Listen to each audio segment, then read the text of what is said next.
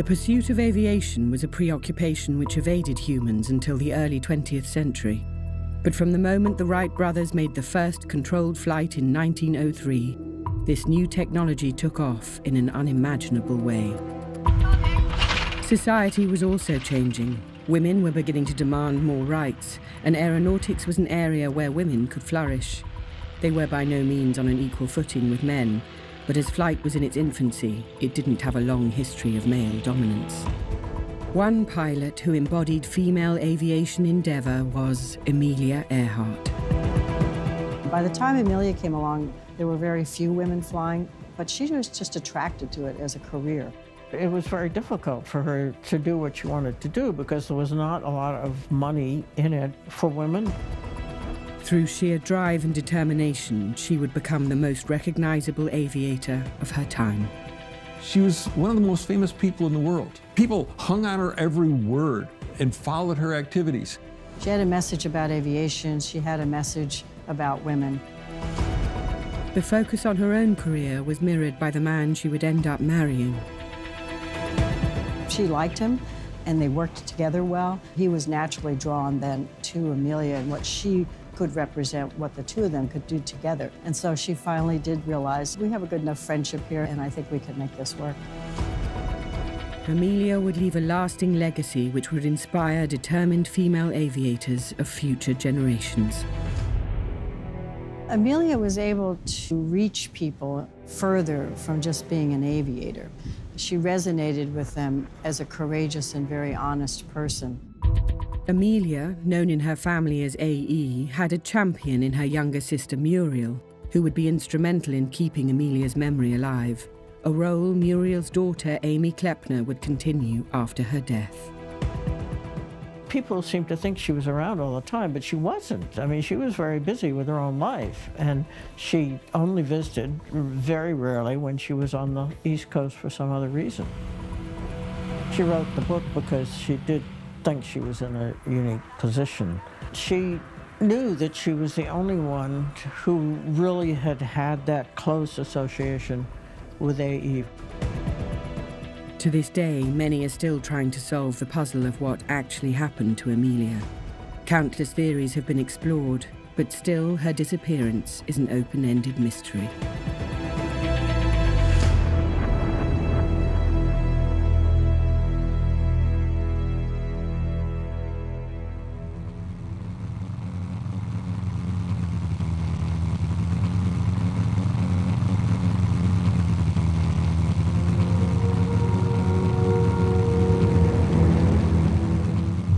On the 2nd of July 1937, the SS Itasca waited in the middle of the Pacific Ocean, just off Howland Island, 2,000 miles from Papua New Guinea. The ship was supposed to supervise the landing and refueling of a Lockheed Electra before it set off for Hawaii on its penultimate journey in the circumnavigation of the globe. The pilot was Amelia Earhart, and the navigator, Fred Noonan. They never arrived. The Coast Guard ship Itasca was waiting for her at Howland Island. They were going to wait and help her when she arrived, manage the fueling of the aircraft and setting her off for the next leg of the flight, which would be to Hawaii. Unfortunately, the communications plan was not perfect. They could hear her, but she could not hear them. There's desperation on both sides. They know from the signal strength that she is coming, but they can't see her, and she can't find the island. It was a headline story for quite a while, and then gradually it died down. There have been many theories as to what happened to Amelia, but none have been able to give a definitive answer. The search for Amelia has been going on since her disappearance. After the war in the early 50s and then into the 60s, a lot of theories started to spin up again. And I think it was just kind of interest as to what happened to her. We know that she disappeared off the face of the earth, one of the most famous women of the 20th century. So what happened? Got to figure this out. There are three main theories that they just missed their objective, had to be somewhat off course, and that they ran out of fuel and crashed and sank. Which seemed to most people the most plausible and was the most popular view for quite a while. Then there were some stories that suggested that she had been forced down somewhere and captured by the Japanese. There was never any really solid evidence for this. There were many contradictory views. And then there's the third theory. They flew on to Nikumaroro, which was at the time called Gardner Island, that they might have survived a few days. We started out investigating aviation mysteries, but avoiding the Amelia Earhart mystery. I reasoned that she probably just ran out of gas looking for a tiny island in a big ocean, and the whole thing just seemed like a media circus, and I didn't want any part of it. In 1988, two of our members approached me they said, We have a theory about Amelia Earhart. And they pointed out that the last thing that Earhart said in flight over the radio, she said she was flying on a particular line and running north and south.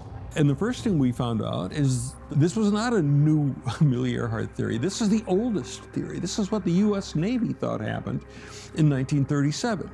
And then there were all these radio distress calls that were heard for night after night after night after she disappeared, and radio bearings were taken on those calls. And the best ones cross near this island. Well, this is all making a lot of sense. Uh, I guess we need to go and check out that island. Well, there was no big silver airplane lurking in the bushes. But there were airplane parts in the abandoned village that was on the island. The events surrounding her disappearance have an almost mythic status, akin to the legend of the Loch Ness Monster. It's understandable that people really still want to know what happened to her. In that day and age, it really wasn't unusual for people to disappear in a flying accident. So I understand that people still want to know what happened. I think that they really just need to move on a bit and just be appreciative of who she was. What we're still missing is what everyone wants that final piece, call it a smoking gun. Whether something like that still exists out there, I don't know.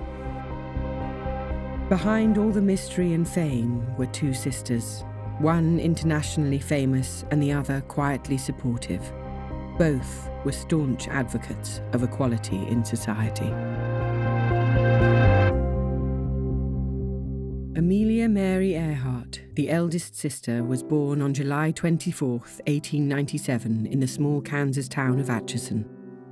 Two and a half years later, her parents Edwin and Amy had a second daughter named Muriel, a younger sister for Amelia. Muriel was the future aviator's constant childhood companion, and from the beginning the pair had adventure on the mind. Hours were spent climbing trees and riding horses, when the hot Kansas sun became too much, they would seek shelter in the library of their grandfather, losing themselves in the tales of Victor Hugo and Alexander Dumas.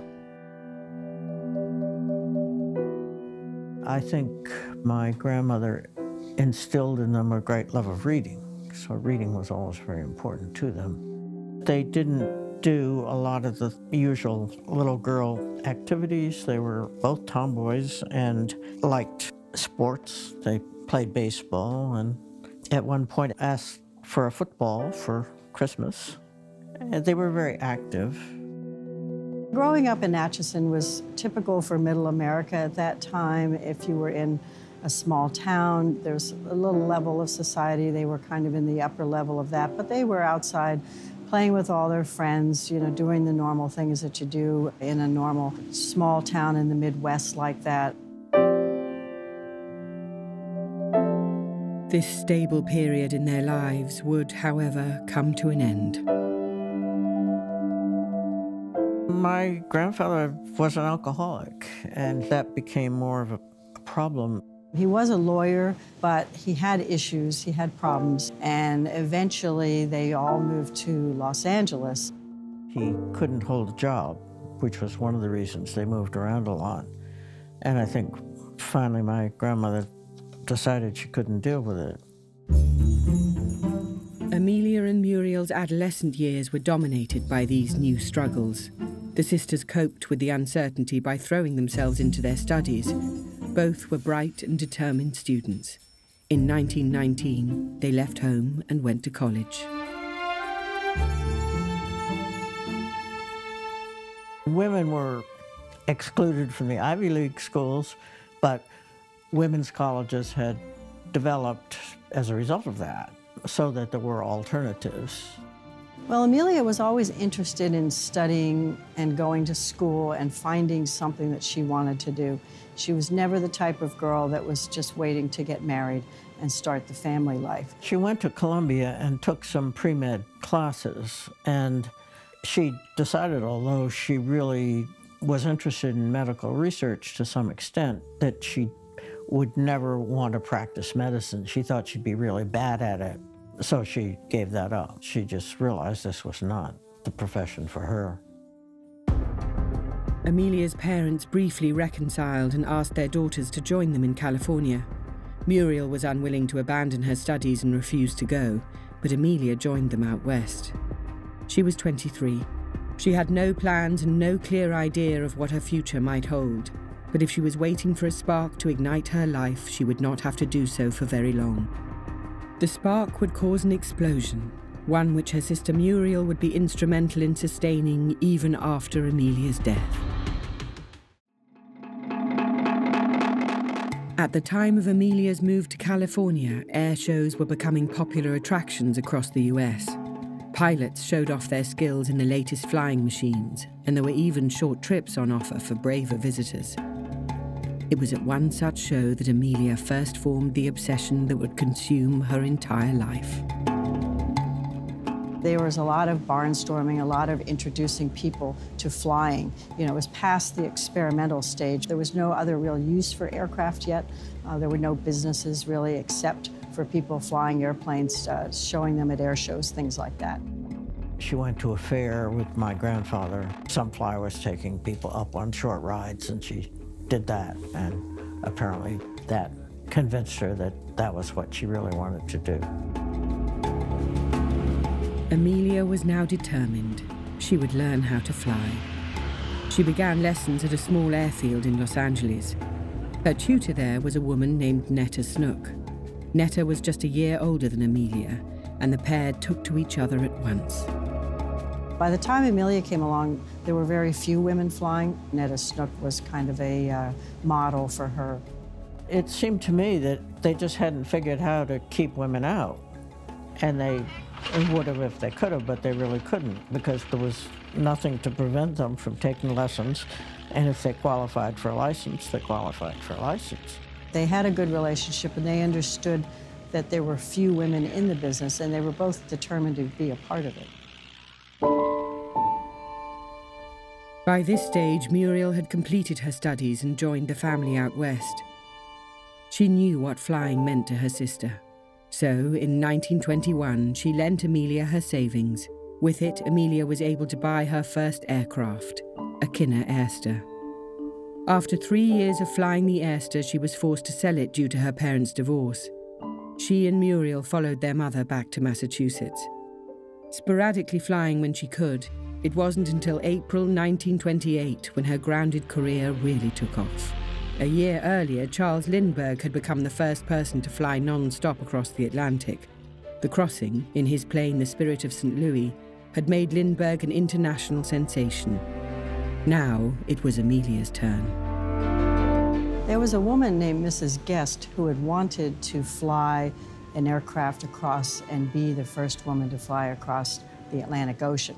Her family objected, and so the promoters started looking for another woman that might go uh, in her stead. Amelia came down and was interviewed by G.P. Putnam.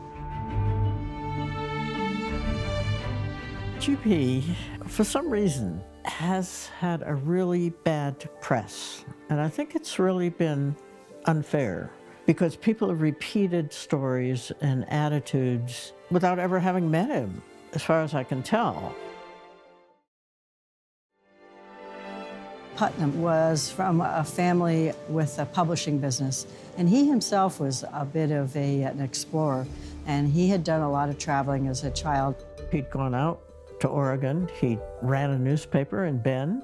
He was elected mayor of the town. I mean, he can't, can't have been such an awful person. He really loved promoting people that were going out and doing new and different things and trying different types of treks and flights and things like that. So he offered to become her publicist and help her make her way in aviation. More experienced men were to pilot the plane, and Amelia would be little more than a passenger. Nevertheless, she quickly agreed. On the 17th of June 1928, her plane Friendship left Newfoundland and headed across the Atlantic. A little over 20 hours and 40 minutes later, Amelia's plane landed at Burry Port, a small town in South Wales. Miss Earhart's aircraft, Friendship, taxis toward English shore at Southampton after first landing in Wales. There's Miss Earhart in flying togs. Her life changed forever. It was a dramatic um, moment in history. It doesn't make a lot of sense because she was only a passenger, but still, she was the first woman to actually fly across the Atlantic. And at this point, in 1928, it was still very dangerous to do so. With long distance flying, there was always anxiety. And I think the, as far as the family goes, they knew it was dangerous, but I think they'd accepted the fact that this is what she wanted to do. She toured in Europe there for a little while before she came back, and that was the beginning of her way of learning how to make a career in aviation. She sensed right away that things had changed and she would be able to use this opportunity. Amelia enjoyed ticker tape parades in New York and Boston, which the proud Muriel attended too. But the crossing brought Amelia more than just fame. She and the handsome publisher G.P. Putnam had formed a deep bond during preparations for the flight. Their relationship blossomed in the months afterwards. Putnam was a business partner as much as a romantic one. He took every opportunity to spread Amelia's fame, even sidelining other pilots he thought might threaten her standing as the preeminent woman aviator. She was a strong woman. She would not have bought into that if that wasn't what she wanted to do. The fact is, he was enormously helpful to her, and she might not have had the career she had had she not had him take over the management and the publicity and arranging the lecture tours, all the things that were necessary for her to keep flying because it was expensive. Amelia and Putnam were determined to further her career in aviation despite the majority of women at the time being expected to go down the more traditional route of raising a family. Amelia's sister Muriel had married in June 1929 and later had two children. I think she was not altogether happy in her marriage. Uh, my mother didn't have the same strong feeling about being independent. She married because she wanted to be married and have children. And I think her marriage, in some ways at that time, was more typical that women did more or less give in. And to some extent, they took a servant's role and they served the meal and did all the child care and all the food preparation and the rest of it. And that was what was expected. Perhaps it was these difficulties which put Amelia off marriage. For a long time, she resisted Putnam's proposals, Finally, she relented, and on the 7th of February 1931, Amelia and Putnam were married in Connecticut. Unusually for the time, she did not take his name. She remained Amelia Earhart. But she really wasn't sold on marriage. She was sure that it would ruin her career in some way or another. This was what she had always felt. They really believed that marriage was a serious problem for a woman who wanted to accomplish anything on her own. I mean, she thought of it as kind of a trap, kind of a cage. And this is why she specified when she did marry that she was not going to give up her freedom completely. I think she didn't want to have children. Children would have interfered. She was a great advocate of birth control. In fact, she gave some birth control advice to her, to my mother, which have taken, would have uh, taken me out of the picture. Amelia, again with Stultz and Gordon, is given a big city welcome. This time it's New York who lauds Amelia as first woman to fly across Atlantic. Despite Amelia's fame and undeniable determination, many in the aviation industry in fact had doubts about her abilities as a pilot. They thought she was far more adept at making the headlines than making a landing. For her part, Amelia was well aware of her limited role in that famous flight across the Atlantic. She got zero from the friendship flight, nothing. The two men were paid, she was paid nothing. So that it was very difficult for her to do what she wanted to do because there was not a lot of money in it for women, probably for men either, except the difference was men could get into commercial aviation. They could be commercial pilots, whereas women were excluded from that. When Amelia landed in Wales in that 1928 flight as a passenger and started to receive all these accolades, she really felt that she didn't deserve it. And she vowed then that she would have to make her own flight at some point so that she could actually deserve this kind of accolade and be respected as a pilot in her own right. Amelia's drive and ambition to fly across the Atlantic would not stop at this accomplishment. She would go on to break other speed and distance records, constantly proving that being a woman was by no means a hindrance. Her thirst for bigger and more epic adventure would seal her name in history, but it would also have tragic consequences. At Hatboro, Pennsylvania in 1930, Amelia becomes first woman to fly an autogyro. Married to famed publisher, here helping her into strange craft, Amelia is Mrs. George Putnam now, but as far as planes are concerned, she's still Amelia Earhart of the Airlanes, who will give flight to anything with wings. This is sort of ship Lady Lindy has never flown before, but she'll fly it just the same. Amelia was under pressure to maintain her status. She had little time for her family, whose requests for financial help were just another unwanted burden. Muriel, who had helped finance Amelia's first plane, was deeply hurt. I think she did become more and more controlling. What she did to help my mother was to loan my parents the money they needed to buy their first house. And she viewed this as a business transaction, and I think she thought it was not properly acknowledged. My grandmother, who was a really lovely person, had a really serious problem with money. She had extravagant tastes and couldn't manage money properly. AE gave her money, I mean, provided for her support, and resented the fact that my grandmother gave away some of that money. So there was a little bit of resentment there.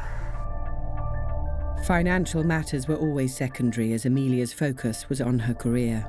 She was only a passenger when she first crossed the Atlantic, and her next goal was to be the pilot. With a keen sense of marketing, G.P. Putnam fixed the departure to precisely five years after Lindbergh's flight. He also insisted the plane she flew was left nameless. Nothing would be allowed to distract from Amelia. As she set off from Canada, it would be a leap into the unknown.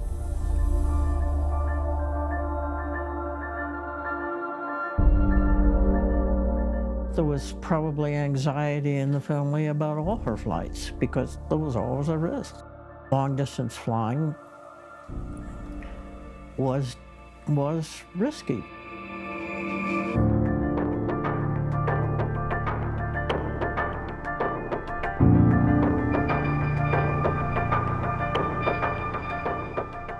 During this intense flight, she battled mechanical difficulties, strong winds, and icy conditions. Her original destination was Paris, but after 14 hours and 56 minutes of flying, she landed in a field in Culmore, Northern Ireland. On May 20th, 1932, just five years after Lindy had shocked the world with his famous flight, she successfully spanned the Atlantic from Newfoundland to Londonderry, Ireland, the first woman to make the flight solo. When asked if she had been scared, she replied with warm good humor, it would sound more exciting if I only could admit being shockingly frightened, but I honestly wasn't. She was always fighting the fuel fumes, that sort of thing. And it was an ordeal, there's no doubt about it. The only other person to have done it was Charles Lindbergh. So that put her in quite a high realm there. From that moment on, she was well known. She had actually performed this flight on her own, and she was taken seriously, and then was able then to translate that into a career, which is what her hopes had always been. Having safely landed in Ireland, Amelia travelled Europe, where she was greeted by notable dignitaries and crowds of adoring fans. And on her return home, she was given a hero's welcome. Following this momentous flight, Amelia would go on to conquer several more aviation feats. There would be no stopping her. Amelia Earhart America's heroine in the days when aviation meant adventure, readied her plane for another challenging exploit. The only woman to fly the Atlantic alone, she now planned her first trans-Pacific flight from Honolulu to California.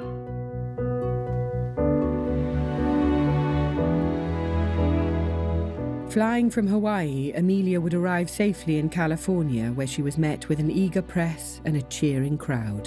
The Atlantic flight, I had ice conditions and general storm. On this flight, really no bad weather at all except a few little rain squalls. I saw the moon and stars most of the night. By 1935, her name was among the most recognized in the world. A still grander goal was in Amelia's sights, however a circumnavigation of the globe. She planned a grueling route along the equator the longest ever attempted. Her plane would be the Lockheed Electra, capable of flying up to 4,500 miles without refueling. The Electra was a good airplane for the era. She thought it would be good to have two engines. It had room for her, it had room for her crew.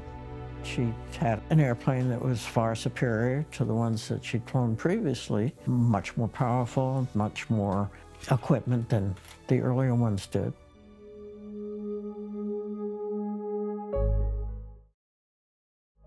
In March 1937, Amelia set off from California on the round the world record attempt. She flew to Hawaii and, after a rest day, planned to fly on across the Pacific. But as Amelia accelerated down the runway, she lost control.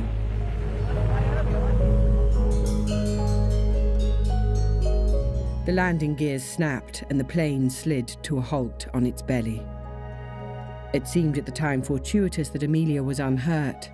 However, a more severe crash could have ultimately saved her life. After rapid repairs to the aircraft, Amelia took off again from California on the 21st of May, 1937. This time she headed east.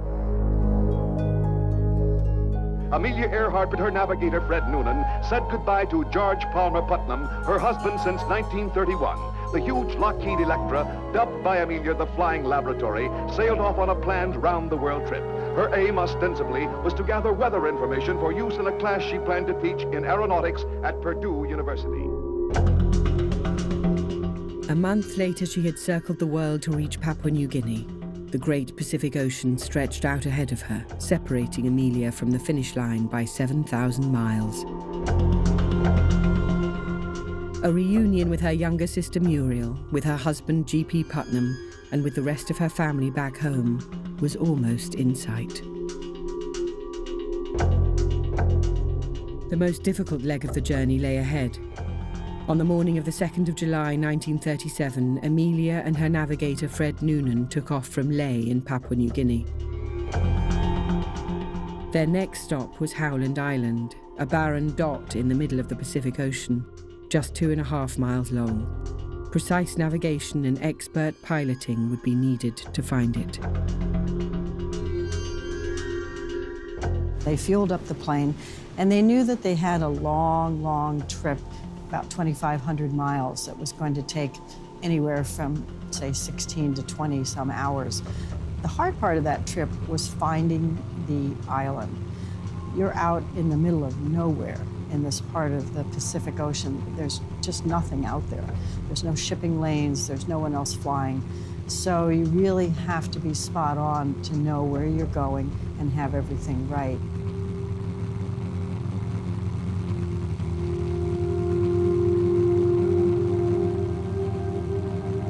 After almost 20 hours of flying, they reached the point where they expected to find Howland Island, but they could not see their landing.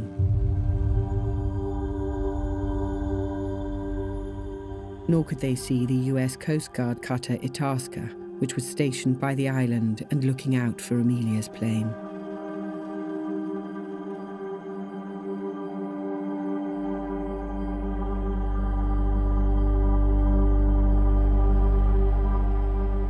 Coast Guard ship Itasca was waiting for her at Howland Island. There was fuel waiting there for her. They were going to wait and help her when she arrived manage the fueling of the aircraft and setting her off for the next leg of the flight, which would be to Hawaii. They were listening on the radio to receive her messages and to communicate with her. Unfortunately, the communications plan was not perfect. They could hear her, but she could not hear them.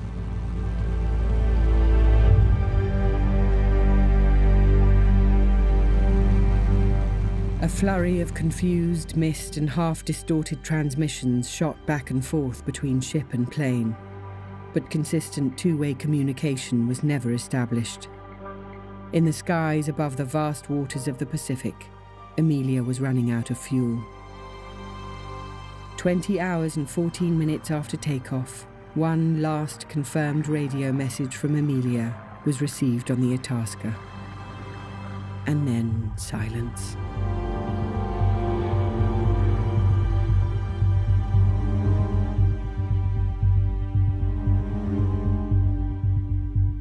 After her last radio transmission, about 8.45 in the morning, they waited for a while and they kept trying to contact her.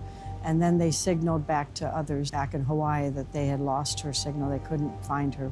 And immediately after that, the Coast Guard and the Navy started gearing up for a search to try to see if she had come down somewhere. Now, there really aren't many places that she could have come down on land, but they searched waters, they searched some of the islands that were within a few hundred miles and did all they could. It was a massive sea air search course, there was a lot of anxiety. My mother was certainly hopeful during the two weeks or so when the Navy was searching, they would find her and that she would, would come back.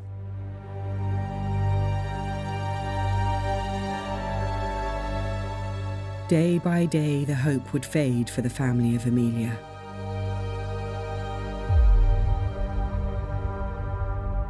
The whole world, too, were waiting for news of her.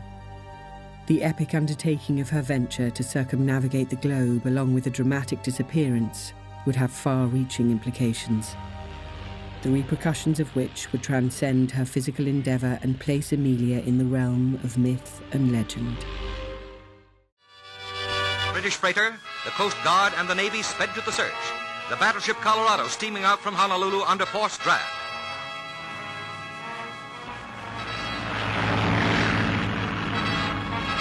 From California, the aircraft carrier Lexington, with 3,000 men and 72 planes aboard, races into the distant Pacific to join the greatest searching party in the history of aviation.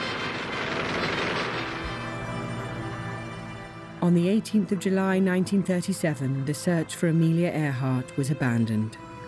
The official conclusion was that her plane had run out of fuel and ditched in the ocean north of Howland. No wreckage or bodies were ever found. The years that followed would see Amelia disappear from public consciousness, and as the theatre of World War II began, more pressing matters occupied the headlines.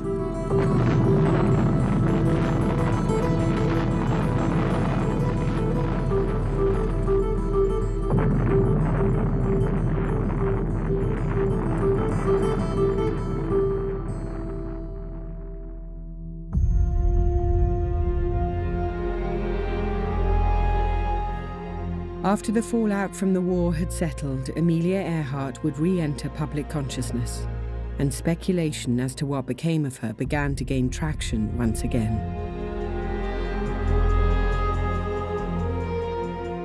There were some stories that emerged after the Second World War that suggested that she had been forced down somewhere and captured by the Japanese. There were many contradictory views. We know that she disappeared off the face of the earth. The search went on for about two weeks, and it was called off in the middle of July. So at that point in time, it was fairly clear that, that she had not survived. She and Noonan had not survived the flight. Uh, not everybody accepted the official verdict that she simply crashed and sank. It's the intuitive theory it's kind of the default explanation. If there's no evidence that something else happened, yeah, it's like I used to think. Tiny island, big ocean, limited fuel, what the heck? Of course, there's a ton of evidence that something else happened. Ric's theory was that Amelia Earhart did make land on that morning in 1937 that she lived as a castaway for a period of weeks or even months before finally succumbing to the elements on the exposed Gardner Island, known today as Nikumaroro, hundreds of miles to the south of Howland Island. A plane did circle the reef bound atoll during the 1937 search. Its crew even noted signs of recent habitation. These, however, were attributed to a local work party. The island was never investigated again.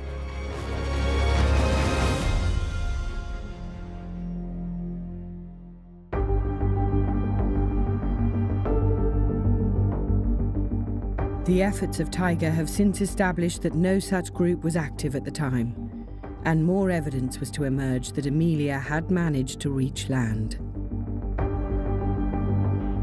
As the search scoured the Pacific, there were reports of radio transmissions from Amelia's plane.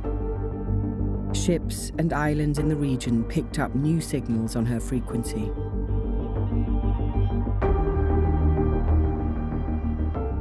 The airplane's manufacturer, Lockheed, said, wait, if you guys are hearing radio calls from this airplane night after night, that airplane's not floating around in the water, it's on land.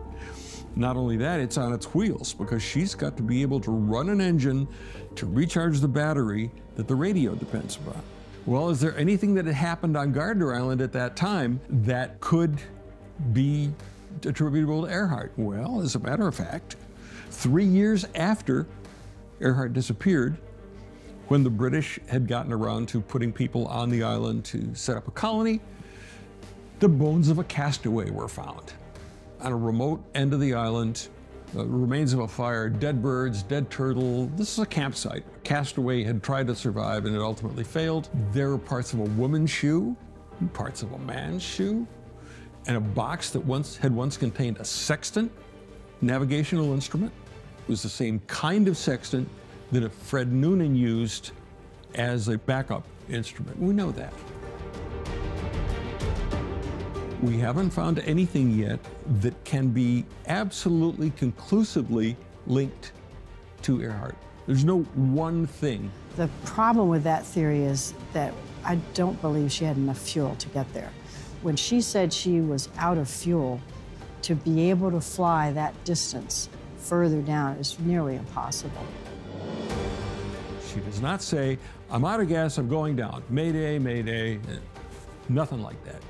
Those who are sure that she crashed at sea make the assumption that because nothing further was heard from her, that she must have gone down. That immediately after that broadcast was made, an engine quit and she was so busy setting up for a landing at sea that she didn't have time to make a distress call. I have to believe that she and Fred Noonan got very close to the island based on the strength of her radio signals. However, they just couldn't find it. So unfortunately, I think that they ran out of fuel and had to ditch the airplane in the sea. And that airplane would not have floated for very long. They would have gone down fairly quickly. The exact circumstances that led to Amelia's disappearance may never be confirmed. Any definitive answer would certainly come too late for her sister Muriel, who died in 1998. My mother found it very painful when people kept coming and saying they wanted to do searches. Probably four or five, six million dollars over the ocean searches around Howland and Nikumaroro. I've always thought uh, it's money that could be much better spent. There, nothing is being gained by this. There's no, you're not going to learn anything useful to aviation or to anyone else by doing it. Rather than dwelling on her death, those closest to Amelia understood that looking at her life could give something back to society. Amelia's widower, G.P. Putnam, who had been instrumental in her career, would work closely with Amelia's sister Muriel on a series of biographies. He also took financial responsibility for Amelia's aging mother. GP took over the support of my grandmother and provided her with money. And I think he showed great forbearance and great patience and really great generosity because he did support her for many years. Publishing her own book about Amelia, Muriel would also continue to speak publicly about the life and achievements of her elder sister. She knew that she was the only one who really had had that close association with AE. I don't think she really got tired of it. She continued to feel love and admiration for AE as long as she lived. In writing about the life of the world's most famous aviator, Muriel has helped redress the balance in aviation, which quickly became another male dominated industry. Men had the advantage. They got their aviation training in the service. That training allowed the men to get the job as commercial pilots, and women were not able to, to do that. She went on to be able to use her presence to support women in college, taking engineering courses, to suggest that women could have careers and maybe have an alternative to family life if they chose. The tale of these two sisters can be viewed as a story of the society they were living in. A society where women were slowly being allowed into different industries, but at the sacrifice of family life.